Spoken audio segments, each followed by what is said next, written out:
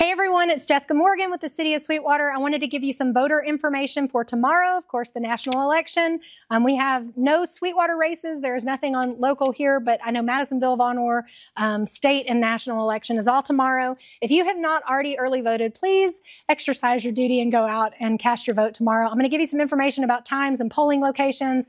First, I want to say Please, if you have any questions that aren't answered in this video, call the Monroe County Election Commission. If you are Sweetwater Monroe County, if you are Sweetwater in McMinn County, you'll need to call the McMinn County Election Commission. Most of you are Monroe County, so the number there is 442 2461. So that's 423 area code 442 2461.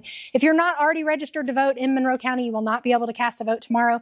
And you do need to take your driver's license with you when you vote. Another rule is you cannot wear any kind of campaign material. So don't have any kind of hat or t shirt with campaign candidate names or slogans or anything like that. You are not allowed to wear those to the polling place because that's considering that's considered campaign material, and you're not allowed into the polling place with that.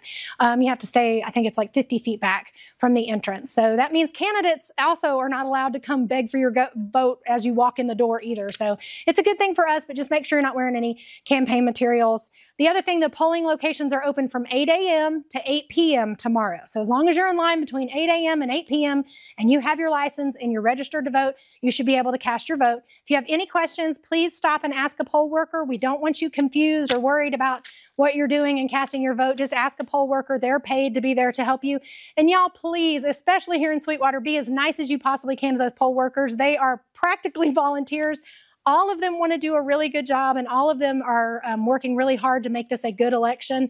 And please just thank them for being there. We want them to walk away thinking, man, I want to work the polls in Sweetwater because those are the nicest people. I know a lot of you have recently moved to Sweetwater. You probably moved here because you met someone here that you thought was nice. So let's be nice to these poll workers. Not everybody always is, and we want to make sure that we're being kind to them. Um, the locations that you can vote in Sweetwater tomorrow, you cannot vote at City Hall. That is only for early voting. We do not host a polling location on election day. So the places you can vote in Sweetwater are Sweetwater High School, Sweetwater Primary School, which is out on Highway 322, and Sweetwater Elementary School on Broad Street. So all three of those polling locations are right here in Sweetwater. Doesn't matter which one you go to, you can vote at any of the three. You can also vote at any of the 13 convenience locations provided by the Monroe County Election Commission. If you're outside the city limits and you're still in Monroe County, you can still vote in Sweetwater at Sweetwater High School, Sweetwater Elementary School, or Sweetwater Primary School. Um, usually the high school um, is probably the busiest precinct, so usually Sweetwater Elementary School or Sweetwater Primary School might get you in and out the quickest.